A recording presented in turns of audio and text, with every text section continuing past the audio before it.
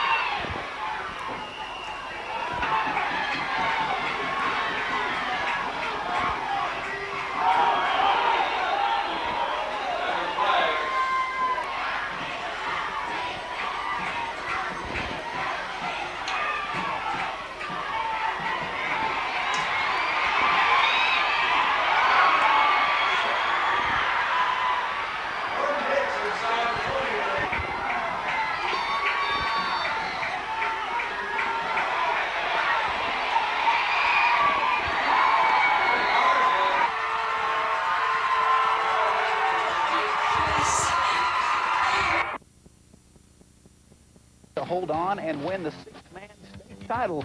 It's their second title in school history. Rocky Reyna led Whitharral with 165 yards rushing and two touchdowns on 25 carries. Sportscast, it's time to have some fun. We'll start with the Whitharral Panthers, who won their second state championship, and they did it with half the number of players you usually see on the football field. Then again, of course, they are a six-man team. They do this every week. Second quarter, we've got uh, Whitharral's Jordan Barker with a pass to Brandon Hoskins, who backs up into the end zone for the touchdown. Panthers led 21-0 and 21-6 later at the half. Then in the fourth quarter, 21-14, with Harold Hoskin on the long gainer. But after the tackle here, which was kind of high, he lands on the knee kind of funky, and would end up having to leave the game. That could be detrimental. But both defenses played tough in the second half. Whitharral was picked off actually twice in the end zone, thwarting scoring opportunities. Then with under two minutes left, Richland Springs scores a touchdown, but they missed the two-point conversion kick, so they're still down 21-20. Next possession, Rocky Reyna scores a rushing touchdown right here. That makes it 21, 27-20 Whitharral. And under a minute left, last drive for Richland Springs. The long pass tipped around and incomplete. And then with seven seconds left in the game, the runner can't get out of bounds. The clock would expire, and uh, no more plays for the other team. Whitharral takes home their second state six-man championship today, 27-20, the final score. I sure thought we could score more than 27 points. Uh, but our defense played tremendous. They hung in there, bent a little bit, but they did what they had to do, and, and I'm real proud of them. It's the greatest feeling in the world. I'm glad we did it. I'm glad this, this last my last game was a state championship, and we won it. This wasn't only for the seniors this year. It was for the seniors last year and the year before that, and the last 20 years, because that's how long it's been since we won state. And I mean, that's what we've shot for the whole time. It's like about 20 years later, 20 years later, and we finally got it. All right, no college games today, so the NFL took advantage of the open spots. Game one, Cardinals. Because uh, we can inspire the obesity statistics with you and your sports. Uh, exactly. I guess I'm skinny, I, or I know and you have the skinny you, or whatever You play sports. video games, Yeah, video games all the time, and I'm proud of it. and you look like you do? Yeah. That's right. Go ahead. All right, Take Whit it away. Panthers. Whit Panthers looking to take home the six-man state championship today. After the break, we will see if they did just that. But first, the play of the day: Giants and Cardinals from the NFL. Now, the- six-man state championship was decided today, and the Whitharral Panthers were looking to erase that horrible memory of the 1996 state championship, which they lost on a fifth down. Obviously, you can't do that, but it happened anyway. That game went down to the wire. Today's would as well. Second quarter, Jordan Barker going to connect with Brandon Hoskins there to put the Panthers up 21-0. At that point, they would lead 21 to 6 at the half. This was a defensive battle throughout, though. You can't really say that in six-man football that often. Whitharral picked off in the end zone twice. Under two minutes left in the game. Coyotes score. Missed the uh, two-point kick, though, so they are still down 21-20. Next possession, Rocky Reyna scores a rushing touchdown to make it 27 to 20 Panthers. Last chance for the Coyotes. The runner not going to be able to get out of bounds. The time runs out. Whitharral survives and wins their second state championship in school history, 27 to 20. Kind of relieved because I wanted this my whole life, and I finally got it. And I don't know, it was just great to have it now. I finally have it. We got our goal. We got our goal. This is what we've been looking for the whole year, and we got it. Win 15 this year, and that was our goal, and, and I think it'd be a good uh, kickstart for next year. With the college football regular season over, the NFL is sl slowly ran for the Whitharral Panthers. Stay with us. This portion of On Your Sideline.